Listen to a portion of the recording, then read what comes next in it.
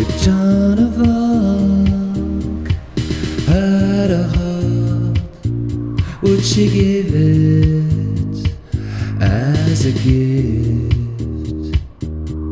to such as me who longs to see how an angel ought to be?